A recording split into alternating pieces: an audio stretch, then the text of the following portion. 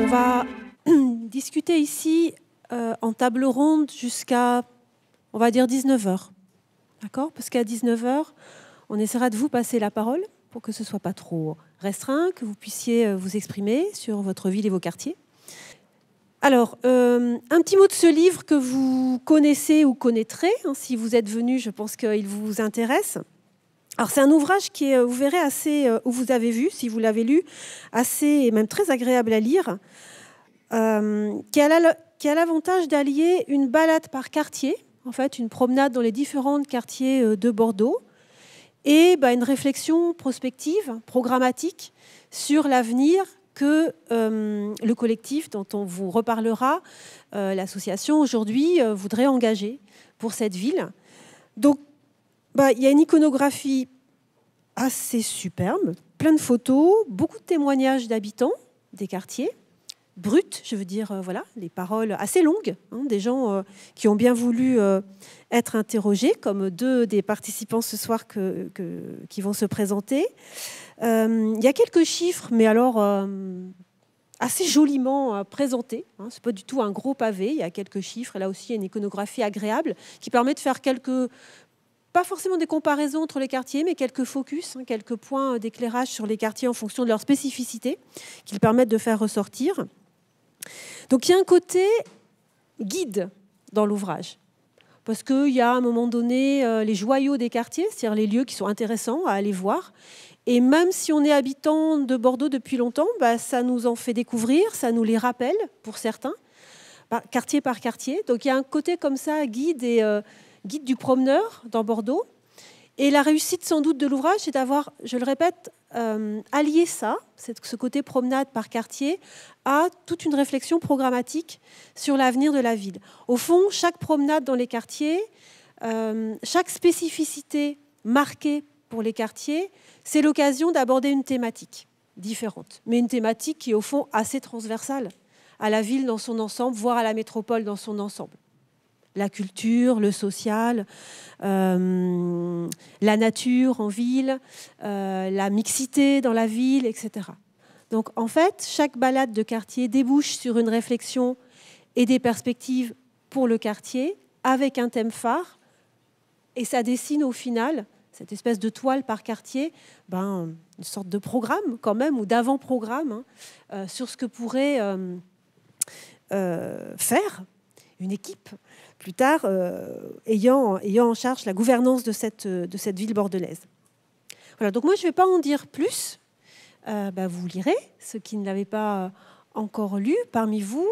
Et puis, euh, je vais simplement, avant de lancer les petites questions que j'avais en tête, encore une fois parce que je viens de lire l'ouvrage et que, que, voilà, je vais animer ce débat avant que vous ne le fassiez depuis la salle, j'avais simplement envie de demander à chacun quelques mots de présentation pour que les gens présents puissent savoir qui vous êtes. On commence par, euh, vous, François. Bonsoir, moi je m'appelle euh, François Couchouron, je suis pharmacien et je suis pharmacien dans le quartier de, des Aubiers à Bordeaux-Lac euh, qui présente certaines spécificités et notamment d'être un quartier qui, regroupe 100% de logements sociaux. Et donc je témoigne dans l'ouvrage à, ce titre comme intervenant professionnel de santé dans un quartier qui concentre certaines précarités, des fragilités, et qui, je peux témoigner également d'une forme euh, d'inégalité sociale de santé euh, dans ma pratique quotidienne. Voilà. Alors, je m'appelle Étienne Parrain, je suis architecte urbaniste. Euh, j'ai cessé de le faire il y a un an à peu près. j'ai longtemps travaillé effectivement à Bordeaux sur la partie rive droite hein, de, de l'agglomération bordelaise. Et euh, je représente un petit peu ici l'équipe qui a travaillé, on était 10-12 personnes qui avons travaillé, euh, qui avons travaillé sur l'exécution hein, du bouquin. Donc euh, c'est très frustrant d'être le seul, j'aimerais être accompagné bah, des autres, mais c'est pas possible. Donc j'essayerai de, s'il y a des aspects un petit peu fonctionnels, techniques, de, répondre là-dessus. juste une chose, je suis urbaniste, je le revendique, mais Vincent Feltès nous a vraiment demandé ne faites surtout pas une thèse d'urbanisme sur Bordeaux. Donc j'espère que ça ressemble pas trop à ça. Voilà. Bonsoir.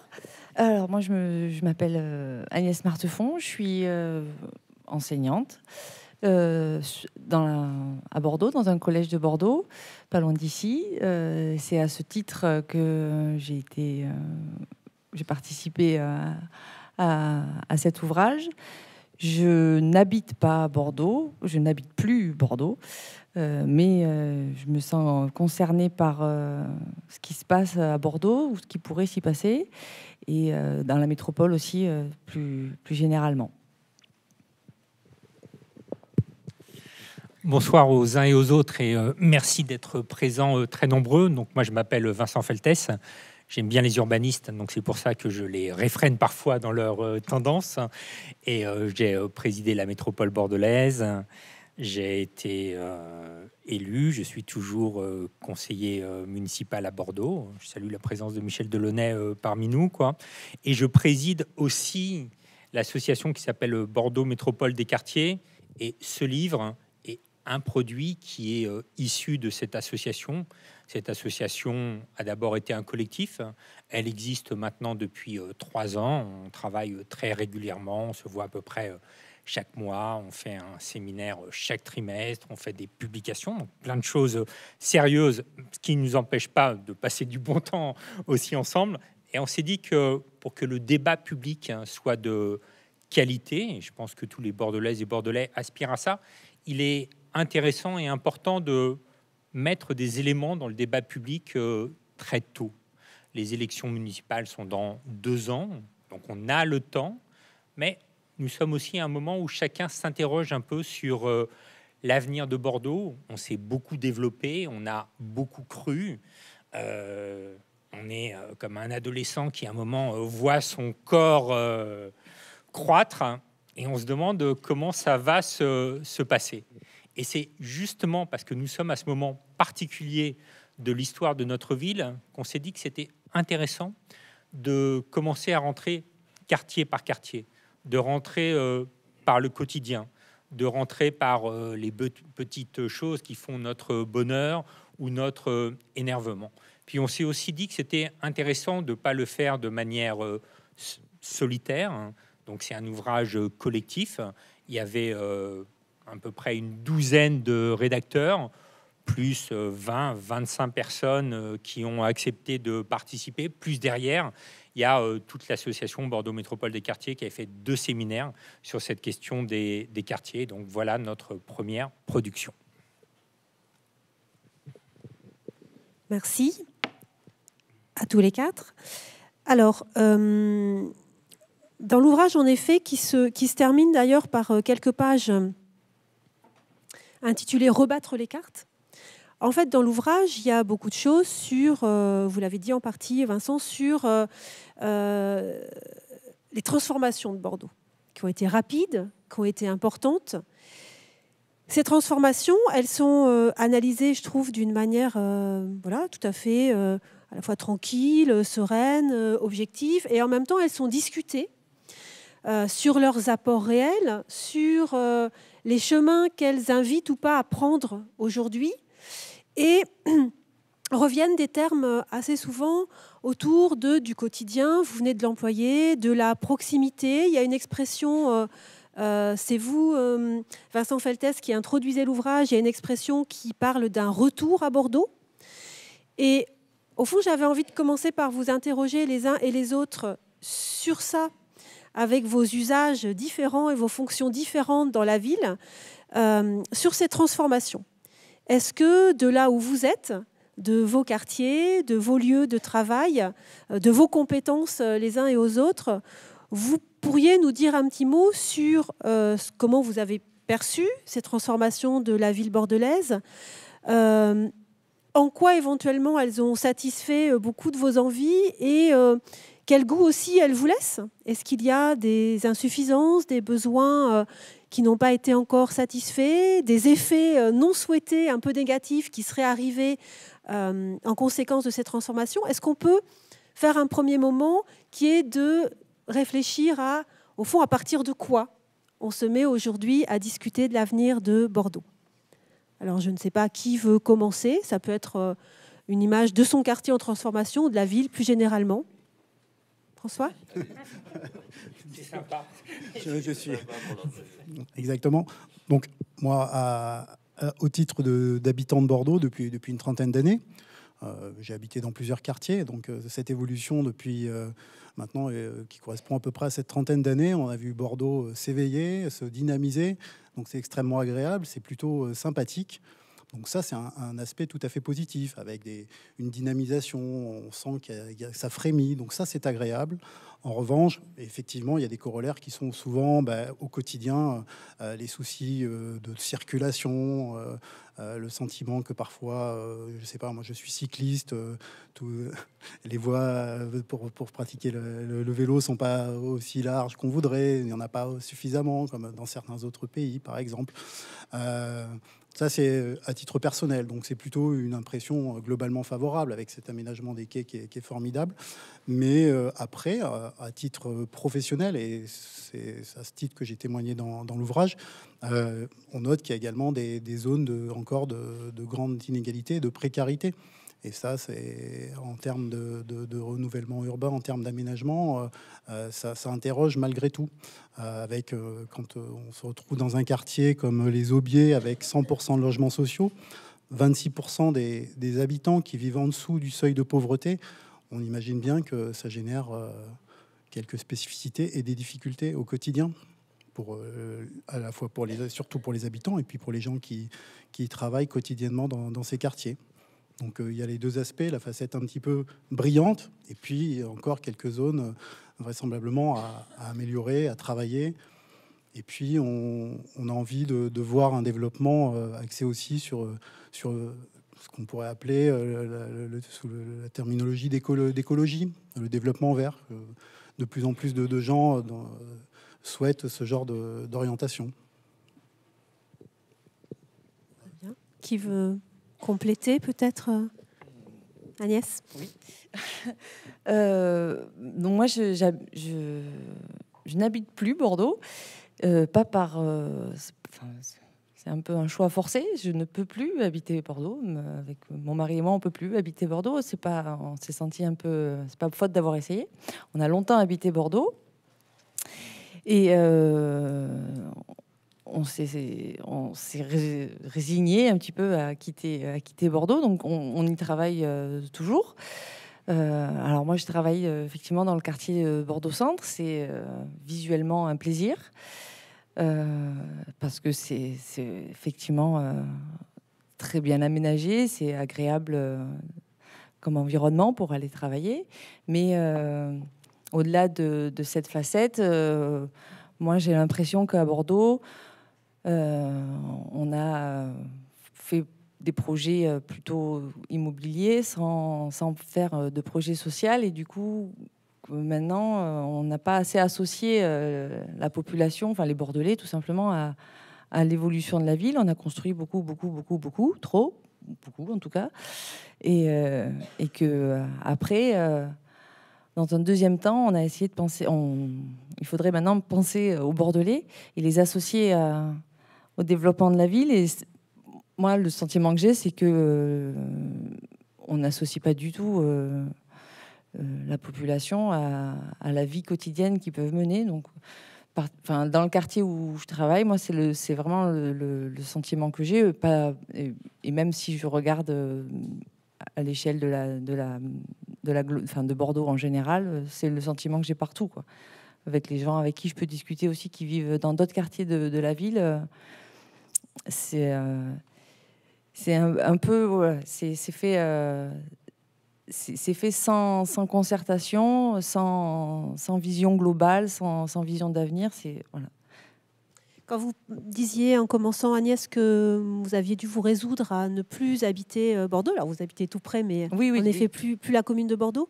Est-ce que c'est lié à- au coût d'accès au logement, pour parler très Ah clairement, oui, ou est-ce voilà. qu'il y a d'autres choses Non, euh, c'est le coût d'accès euh, au logement. C'est si si euh, si je vous si on nous voulions faire correspondre ce qu'on pouvait avoir avec nos moyens, et ben et, et ce qu'on voulait, et ben il fallait il fallait quitter Bordeaux. Si on pour élever nos enfants. Voilà. Pour, je crois, et pour euh, beaucoup de, de gens de ma génération qui ont le revenu que nous avons, je crois que c'est le cas. Étienne, vous voulez Oui, c'est, euh, là, je parle aussi un petit peu en tant que participant à, l'élaboration du, livre sur les quartiers. Euh, une grande question, c'est qu'est-ce que c'est qu'un quartier finalement? Euh, Quand on, ouvre le dictionnaire, on nous dit c'est des parties de ville qui ont leur singularité.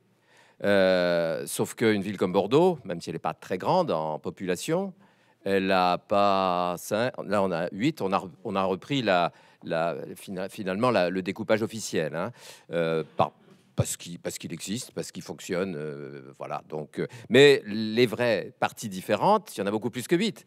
Il y en a des dizaines, probablement. On le voit dans, les fêtes de voisins, les, choses comme ça.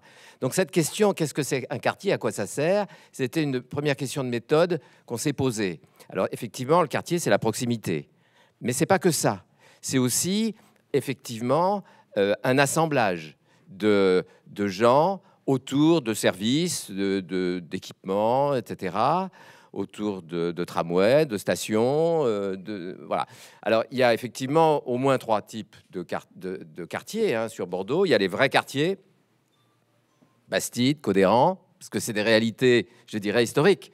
Il y a des quartiers un petit peu par défaut. Moi, j'habite euh, à la barrière d'Ornano, donc on dit Saint-Augustin, Tozin, Alphonse Dupeux. Donc ça montre bien que c'est une composition un petit peu par défaut. Puis j'ai envie de dire, il y a peut-être des quartiers qui existent ou qui existeraient par volonté. Et ça, c'est peut-être les plus intéressants.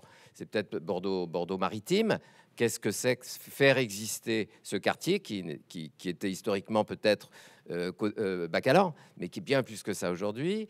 Chartron Grand Parc, Chartron Grand Parc, est-ce que c'est deux quartiers? Est-ce qu'il y a une volonté de faire exister un seul quartier autour d'une communauté d'intérêt, d'une communauté de vie? Ça, c'est des vraies questions de méthode qui nous ont paru extrêmement intéressantes et qui, et qui au-delà de la proximité, posent la question quelque part de l'identité. À quoi on se reconnaît? Alors, c'est n'est pas simplement non plus des cartes mentales. Un, adolescent, son quartier, c'est Bordeaux, voire au-delà. Euh, quelqu'un qui travaille, son quartier, c'est peut-être plus là où il travaille, justement, Agnès, voilà, euh, le centre-ville, etc., etc. Donc, cette notion de quartier est une question qui, euh, dont on n'a pas le sentiment qu'elle a été posée brutalement. dans, l'histoire urbaine et récente, en tout cas, de Bordeaux. Et c'est peut-être une question qu'il faut qu'on interroge. À quoi ça sert un quartier? Et ça va interroger par le projet, aussi. Est-ce que c'est autour d'une communauté de projets, d'une communauté de problèmes Les deux? Euh, C'est des questions sur lesquelles, effectivement, l'urbaniste que je suis et les autres de l'équipe ont surtout pas voulu trancher. Dire, voilà, on, pose des questions. Et c'est une grande question, en fait, euh, que l'on retrouve dans les propositions de débat qu'on fait à chaque fois. Et, Vincent, j'avais envie de poursuivre peut-être avec vous sur ce sujet parce que cette question d'assemblage que vous évoquez, Étienne, est très importante et, elle est présente dans le livre. On a le sentiment que Bordeaux, avec le tramway par exemple, s'est rassemblé d'une certaine façon. Et en même temps, ce qu'évoquait Agnès aussi, et ce qu'a engendré euh, finalement l'embellissement aussi de la ville, c'est une forme de désassemblage ou d'une menace de désassemblage social donc je parle ici des affaires de mixité, finalement, de, côtoiement dans ces quartiers que vous appelez les Bordeaux villages. Voilà, à quel point ils font sens, mais à quel point on y accueille aussi des gens différents qui pourraient s'y rassembler ou pas, parce qu'il y a aussi des tensions d'usage parfois sur des thèmes communs. Est-ce que dans ces transformations bordelaises, vous, avez, vous pouvez avoir le sentiment que parfois la, le, pari de la mixité, de cet assemblage réussi a été menacé, Vincent? Est-ce que c'est un, un objet fort dans vos réflexions? Oui, c'est bien sûr un objet fort dans nos réflexions et c'était un objet fort euh, dans mon euh, action quand je présidais la métropole bordelaise. On avait fait faire un, bon avant sur le logement social parce qu'on pensait que le logement social est une espèce euh, d'airbag pour les gens, c'est-à-dire que ça leur donne la garantie de pouvoir rester dans leur ville, Bordeaux en l'occurrence, surtout qu'aujourd'hui le logement social est de très très grande qualité. Mais cette question de l'évolution et de l'assemblage, je, je l'évoque dans l'introduction parce que ce qu'on connaît à Bordeaux, on le connaît dans d'autres villes, hein. euh, à Nantes, à Lyon, euh, à Rennes, l'espèce d'embellissement, de renouvellement, plus euh, le problème de gentrification, le problème de flambée des prix des loyers, le problème de Airbnb, le problème d'embouteillage et tout. Mais nous, on a quand même le sentiment, et j'ai le sentiment qu'il y a une particularité euh, bordelaise Et c'est pour ça que dans mon introduction, je fais une césure en deux temps dans l'évolution assez euh, extraordinaire qu'a connue euh, notre ville. Il y a un premier temps, et vous y faisiez allusion, qui est autour des espaces publics, qui est autour du tramway, qui est autour des quais qu'évoquait François. Et d'une certaine manière, Bordeaux se révèle à nouveau à elle-même. On avait oublié à quel point Bordeaux était une ville magnifique et on avait oublié qu'on avait tant de patrimoine 18e siècle et tout. Et tout ça a été fait et couronné d'une certaine manière par le label patrimoine mondial de l'UNESCO euh, en 2008, qui a été euh, une consécration de, de, la ville. Il y a un second temps, auquel en plus moi j'ai largement euh, participé quand je présidais la communauté urbaine de Bordeaux, c'est ce que j'appelle un peu le changement de, changement de division. On est passé de la division d'honneur, hein, pour ceux qui suivent un peu euh, le foot, on n'est pas dans, en Champions League, mais pas très loin. C'est-à-dire qu'on a fait euh, un, bond en avant. D'un seul coup, euh, tout le monde veut venir à Bordeaux. On est dans tous les classements nationaux, mondiaux. Mais ce bond en avant, c'est fait en utilisant des recettes qu'on connaît ailleurs. Des grands événements, la grande vitesse, des grands, projets, des grands programmes euh, d'aménagement, euh, des grandes salles de spectacle, toujours du, euh, XXL. Et à la fois, ça nous a permis de faire ce bond en avant, et en même temps, tout le monde se pose aujourd'hui deux questions. Est-ce qu'on n'est pas en train de grandir un peu trop vite? Est-ce que la promesse bordelaise n'est pas en train de s'estomper La tranquillité, le calme qu'on avait chez nous, est-ce que tout ça n'est pas en train de, disparaître au profit d'une ville euh, un peu plus générique? Et est-ce que la ville demeure pour tout le monde? Et c'est vrai qu'on voit bien qu'il y a des quartiers qui sont euh, moins concernés, qu'il y a des populations qui peuvent euh, moins rester. Et toute la question dans les années qui viennent, c'est pas d'être dans la nostalgie, c'est pas d'être moi. moi, je suis à Bordeaux depuis un quart de siècle à l'époque, il n'y avait pas de cinéma en version originale, sauf le Jean Vigo. Donc, vous regardiez des semaines à l'avance euh, quand il y avait la VO qui passait. Euh, moi, comme beaucoup de monde le sait, j'aime bien le Japon. Il n'y avait pas un seul restaurant japonais euh, dans, tout Bordeaux. Il y avait plein de choses comme ça. Donc, on, a, on, a complètement, complètement changé. Mais demain, comment on fait pour continuer à être une grande ville compétitive, attractive, mais en même temps garder ce qui est notre singularité, notre particularité, notre tempérance, euh, comme, on, comme on dit ici, et comment on trouve des bons leviers pour permettre cet assemblage des quartiers, ce mélange des populations. C'est pour ça qu'on commence à mettre un certain nombre de pierres blanches, en sachant qu'il y a déjà des choses qui ont été faites. Hein. Mais en même temps, jamais assez, parce qu'on a l'impression que les vitesses ne sont pas les mêmes entre euh, ce qu'on peut faire pour préserver et hop, l'arrivée de telle ou telle euh, grande opération. Alors, dans le, dans le comment on fait, qui était euh, en fait en effet un, temps que j'avais aussi pensé pour, pour le débat, après le diagnostic ou à partir de quoi, le comment, Agnès parlait tout à l'heure d'une forme de frustration quelque part quant à la place donnée aux habitants euh, d'une grande ville, dans son développement, dans les choix qui peuvent être faits pour ce développement. Alors c'est à la fois, euh, je pense, une frustration récurrente euh, chez tous. On a le sentiment de n'être jamais assez sollicité pour donner son avis, pour discuter certaines choses, pour évaluer aussi.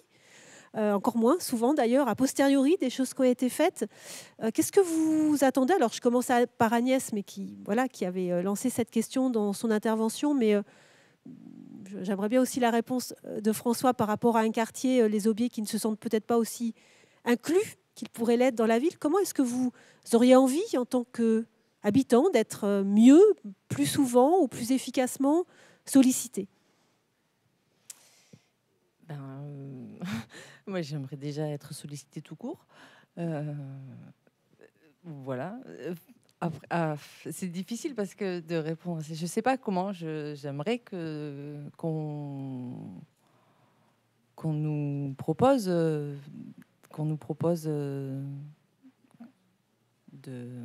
discuter, de discuter, voilà, juste une discussion. Je crois que l'échelle locale, le quartier ou la, ville, la commune, enfin, c'est la l'avenir de la décision ou de l'action euh, politique ou d'une action citoyenne, euh, tout ce qu'on voudra. Euh, mais là, en l'occurrence, je ne sais pas trop. J'aurais du mal à répondre parce que je crois que tout est à inventer en fait. Tout est enfin, c'est à inventer. C'est moi, en tout cas, pour ma part, c'est le sens de mon engagement, disons, dans, dans cette association. Euh, et euh, je, j'avoue que ouais, je, je, sèche un peu parce que là, je. Mais, qu'est-ce que vous y avez trouvé, Agnès, à cette échelle associative finalement?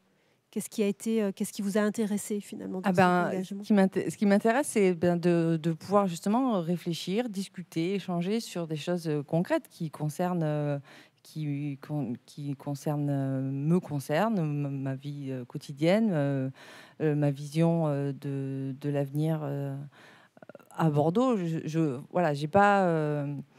je, encore une fois, je, crois vraiment que c'est l'échelle, c'est la, c'est la bonne échelle, C'est le bon échelon pour, pour, pour réfléchir. Après, effectivement, il y a, il y a une, une forme de, de volontarisme individuel hein, qu'il faut, qu'il faut stimuler d'une manière ou d'une autre. Et là non plus, je n'ai pas, pas nécessairement la réponse. Euh, mais il faut donner aux, citoyens euh, la possibilité d'être euh, citoyens autrement qu'en exerçant ou pas d'ailleurs leur droit de vote. et parler des problèmes ou des problématiques nationales, c'est pas, c'est pas assez, ça ne ça permet pas de s'engager assez. Là, l'échelle de la, de la, du quartier ou de la commune. Et ou de la commune, c'est euh, c'est celle qui, pour moi, peut rassembler le plus d'idées et, euh, et, créer le plus de solutions. François, on, dit souvent que les habitants des quartiers euh, plus défavorisés des grandes villes ont peut-être encore plus que d'autres le sentiment de ne pas être consultés, le mmh. sentiment d'être un peu maltraités, on va dire, ou laissés à l'abandon, parce que c'est des, des, expressions qu'on entend souvent.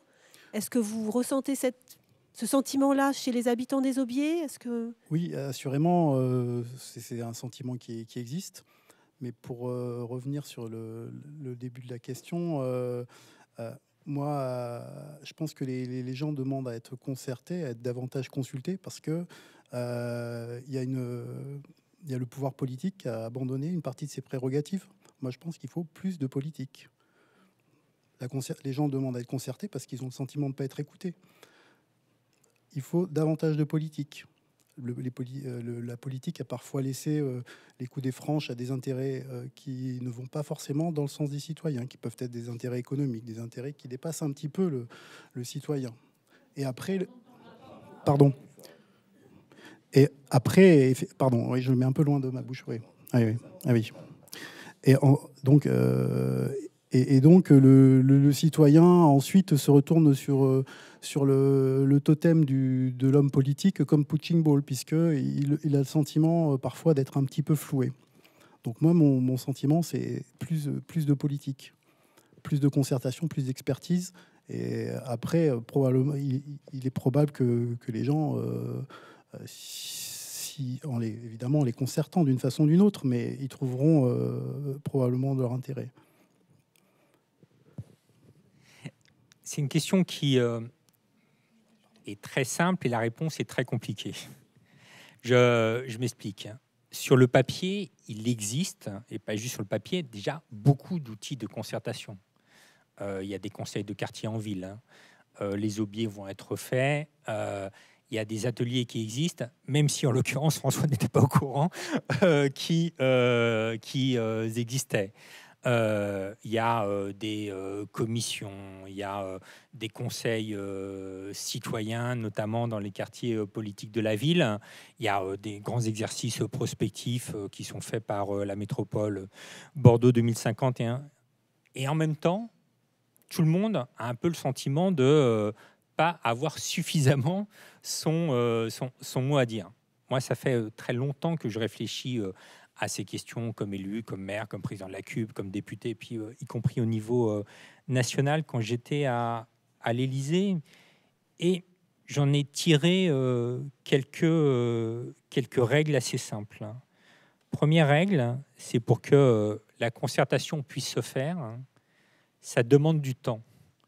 Euh, c'est pas vrai que euh, en présentant juste un soir un projet que vous, service et élus, vous avez préparé pendant des mois, c'est pas vrai que, les gens qui sont dans la salle, en 10 secondes, vont comprendre l'intégralité du projet. Vous avez mis 10 ans parfois pour le comprendre et euh, donner le bon avis. C'est pas vrai non plus que sur toutes les questions, on peut avoir un avis éclairé sans être un minimum formés, entre guillemets, euh, aux règles d'urbanisme, aux règles financières, euh, aux règles juridiques et tout. C'est pas vrai non plus que euh, ça fonctionne si vous n'avez pas un résultat concret à la fin.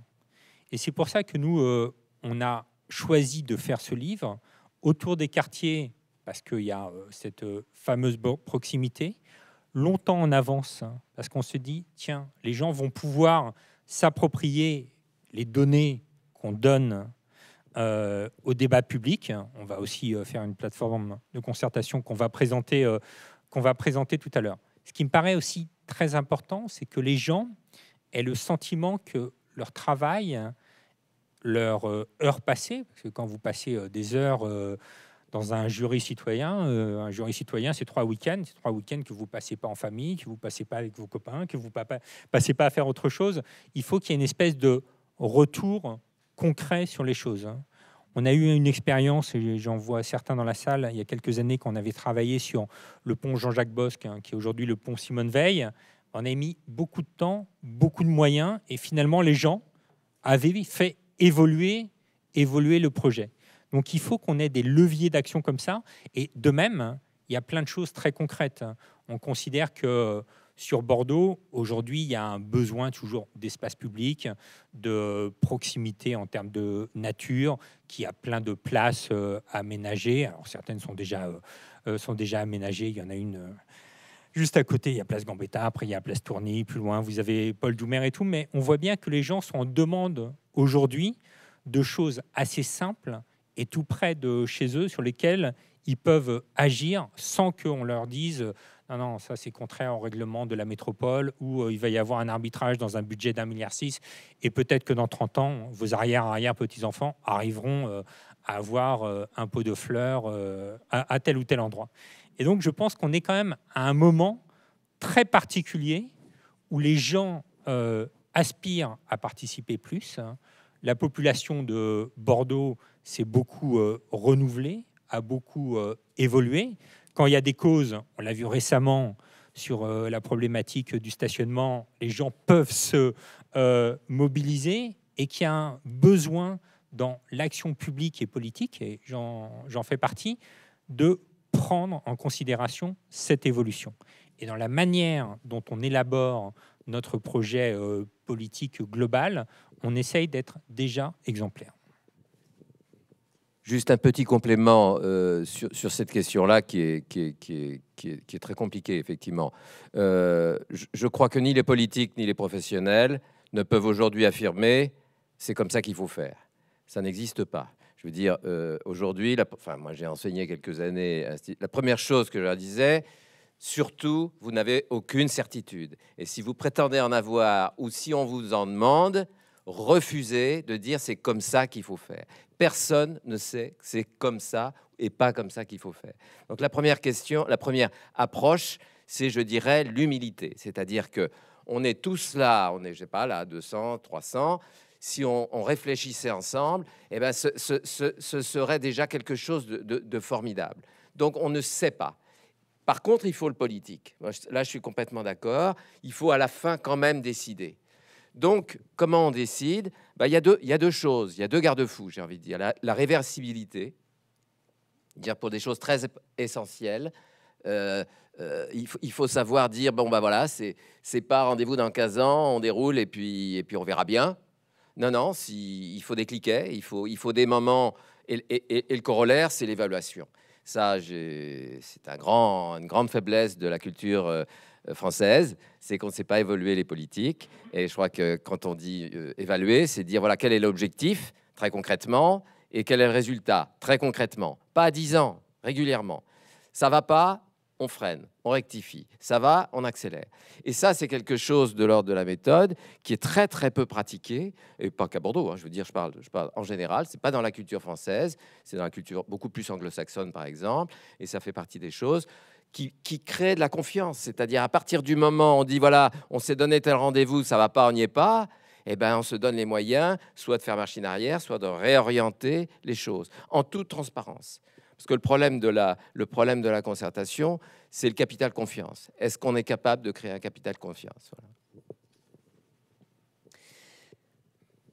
Ça me permet de poser euh, une question que j'avais aussi en tête en lisant l'ouvrage, qui était, euh, au fond, euh, lorsqu'on a la charge de gouverner une ville, si je puis dire, euh, de quelle marge de manœuvre on dispose? Alors, je peux la poser différemment euh, selon les interlocuteurs autour de la table. Si on est un élu, bah, quelles sont les contraintes qu'on a et néanmoins quels sont les leviers et la marge de manœuvre dont on dispose? Et si on est un habitant, qu'est-ce qu'on attend? Parce que vous parliez de politique tout à l'heure, François. Qu'est-ce qu'on attend d'un maire, en fait. Qu'est-ce qu'on attend d'un édile municipal aujourd'hui? Est-ce qu'on lui fait confiance, en effet est-ce qu'on lui accorde crédit ou pouvoir pour réguler des intérêts euh, dont on voit bien qu'ils sont là aussi?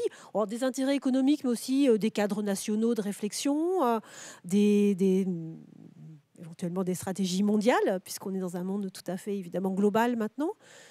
François ou Agnès, d'abord, qu'est-ce que vous attendez d'un maire d'une grande ville comme d'une grande ville comme Bordeaux ou comme une autre Et puis ensuite, peut-être technicien en tout cas euh, élu, euh, votre point de vue sur ce qu'on peut faire Moi, Que ce soit à, titre d'habitant ou à titre de professionnel exerçant dans un quartier dit difficile, moi j'attends de l'ambition.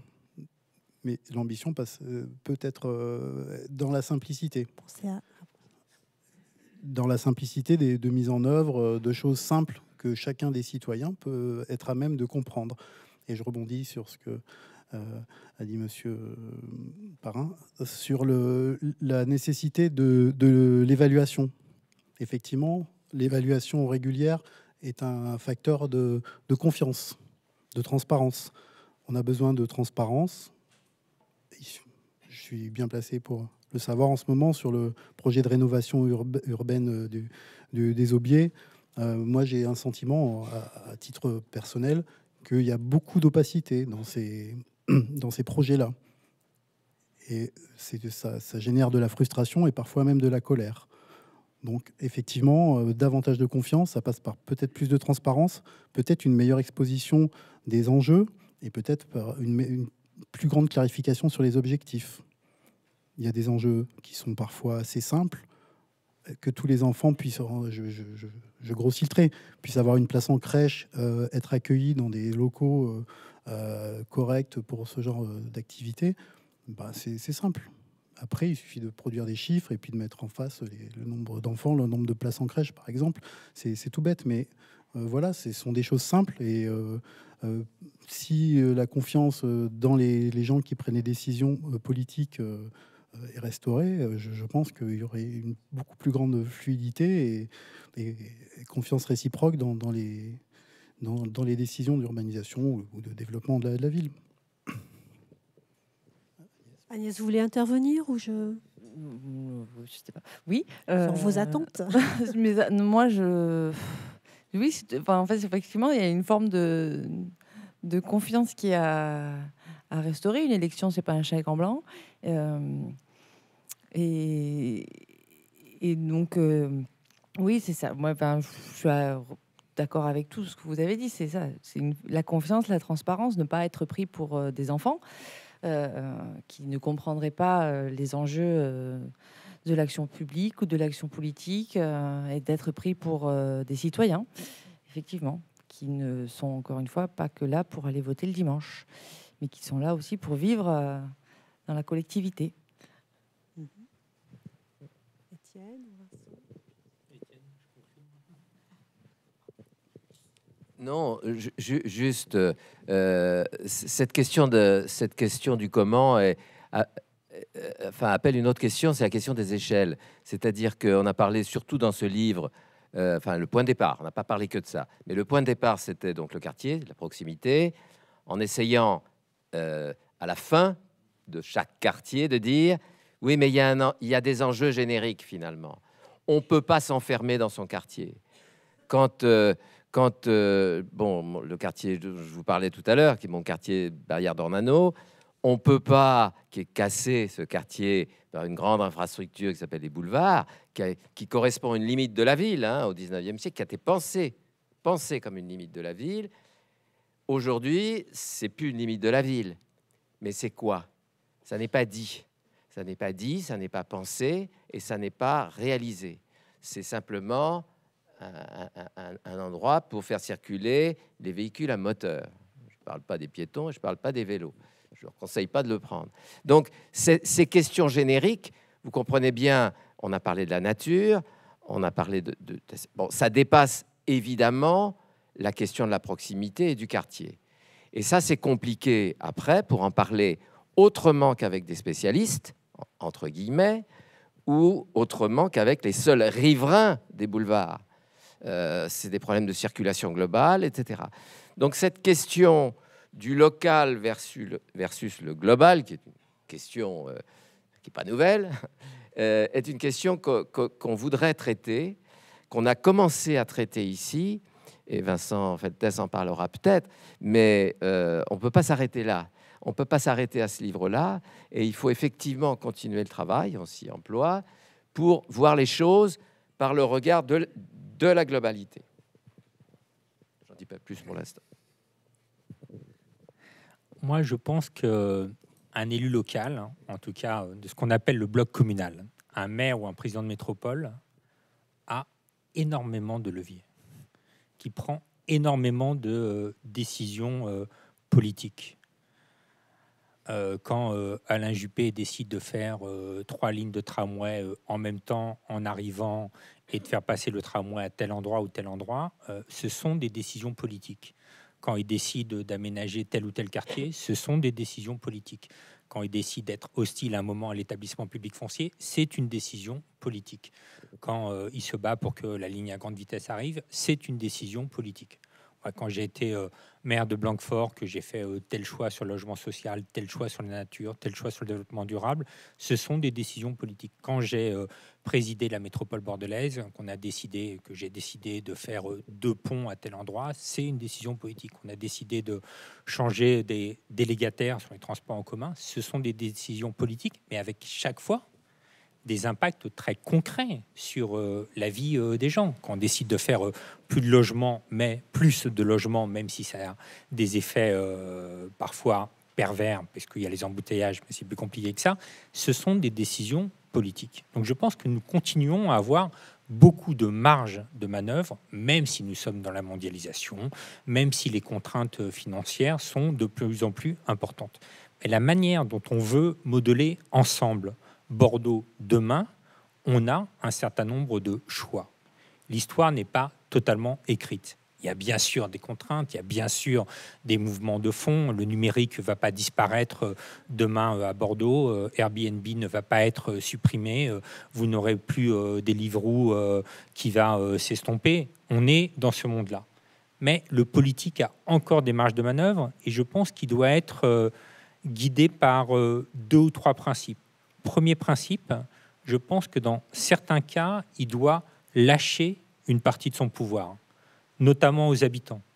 Les habitants, effectivement, euh, des Aubiers, euh, du centre-ville, euh, de la Bastide, de Belsier, de Saint-Jean, de Bergonier, de Saint-Michel, sur plein de choses, les habitants ont non seulement leur mot à dire, mais aussi une capacité à faire. Et c'est ça qu'il faut qu'on arrive, qu'on arrive à bouger. Dans d'autres domaines, il faut au contraire être plus dur. Je pense que dans le rapport à des grandes entreprises privées, à des grands groupes et ainsi de suite, il y a toujours des possibilités de marge de manœuvre et il ne faut pas que ce soit eux qui euh, imposent une loi du plus fort. Donc il faut que l'on euh, durcisse. Puis il y a un exercice qu'on doit faire, nous, comme politiques, c'est comprendre quelles sont les nouvelles règles du jeu aujourd'hui Avant, la manière d'intervenir sur la puissance publique locale, c'est on débloquait 10 millions, 100 millions d'euros pour faire un pont, le tramway et tout. Demain, les contraintes financières seront plus fortes. Donc, comment on fait les choix et comment on peut influencer sur l'évolution de la ville? Est-ce qu'on sous-traite tout euh, à des euh, promoteurs euh, privés qui arrivent à du, avec du prêt à bâtir, et ce qui fait que les quartiers parfois se ressemblent d'une ville à une autre, ou est-ce qu'on revient à ce que j'appelle le retour à Bordeaux à une échelle plus fine? Et un des enjeux du prochain mandat, c'est effectivement cette notion de retour à Bordeaux. C'est pour ça que dans les quelques projets que l'on met en avant, il y a cette vieille idée, mais qui n'est pas concrétisée, d'aménagement des boulevards. Hein. Alain Juppé a fait euh, les quais de la Garonne. Euh, vous avez euh, les façades majestueuses, vous avez la Garonne, mais Bordeaux a une autre façade. Et cette autre façade, ce sont les boulevards. Alors on a tendance à l'oublier parce qu'il y a beaucoup de trafic automobile. Mais c'est un endroit où vous avez des joyaux, pour reprendre ce terme. Bien sûr, le parc Lescure. Quand vous allez tout, au bout, vous avez la base sous-marine. C'est un endroit où vous avez toutes les barrières avec les commerces de proximité, barrières de Pessac, euh, bien sûr, euh, euh, tout ce qu'il y a près de chez moi à Saint-Gemenès, la barrière du Médoc, qui est touché. C'est aussi une manière d'articuler Bordeaux et les communes périphériques de Bordeaux. C'est une manière d'avoir des leviers simples sur le foncier parce qu'il demeure des dents creuses sur, sur la ville. C'est une manière de faire revenir de l'artisanat. Donc voilà. Et donc ça, c'est ce genre de choix que l'on commence à poser dans notre ouvrage collectif sur des questions euh, simples. Puis il faut aussi que le politique ne se trompe pas. C'est pas toujours facile sur comment va évoluer non pas la ville, mais la vie. J'ai cité tout à l'heure Michel Delaunay, mais on sait bien que les questions euh, d'espérance de vie plus importantes, hein, euh, que les questions de santé sont extrêmement structurantes dans les années qui viennent. Comment on adapte la ville de demain à des gens qui auront euh, en moyenne 60, 70 ans, 75 ans, qui pourront rester à, leur domicile bien plus tard? Et donc là, on a quelques euh, paris à faire. Il y a des paris qui sont simples, on sait que la population euh, va vieillir. Il y a des paris qui sont plus compliqués. On parle beaucoup de véhicules autonomes, vous savez, ceux qui sont guidés tout seuls. Est-ce que ça veut dire que dans 10 ans, il n'y a plus besoin de faire du tramway parce que chacun aura son véhicule autonome, qu'il n'y aura plus besoin de faire des pétitions pour les places de stationnement puisque plus personne n'aura son véhicule et que tous les euh, véhicules seront partagés? Les deux scénarios existent hein. euh, et le débat est présent. Non, je voulais remercier euh, Marc, tous les contributeurs, tous les rédacteurs et surtout vous dire que le plus important, c'est que pour nous, l'aventure ne fait que commencer, que débuter. Donc on a un certain nombre d'interrogations, d'intuitions, euh, de plaisirs, de euh, frustrations. Et euh, ce qu'on souhaite, c'est qu'on soit le plus grand nombre possible à participer au débat pour cette ville qu'on adore tous, qui s'appelle Bordeaux. Voilà, merci beaucoup.